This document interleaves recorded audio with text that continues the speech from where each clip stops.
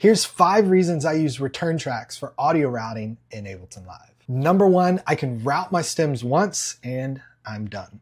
So when I'm programming an individual Ableton Live set, I can go into an individual stem and choose to send that to a return track.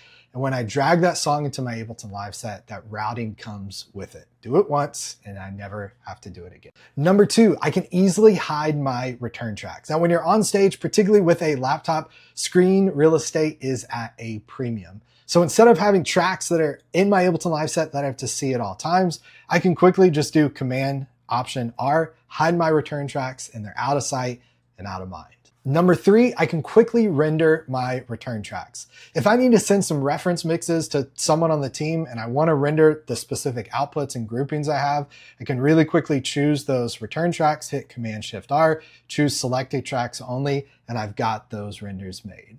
Number four, I can change my audio output routing without redoing any of my stem routing.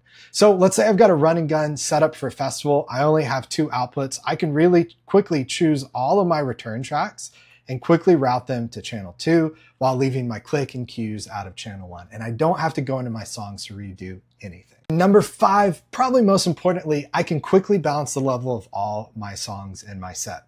So I'm going to press tab to head over to session view. You can see because I've grouped all my stems together and I'm getting all my outputs using my return track, I have a full volume fader that I can use to adjust the level of every single one of the stems in my song, which allows me to balance the levels of my song faster than anyone else.